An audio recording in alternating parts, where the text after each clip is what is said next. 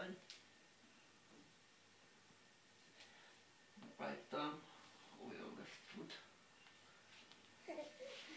Lie on your side. Take your left foot, grip your hands. Stay in push, couple of breaths. Exhale, release left leg.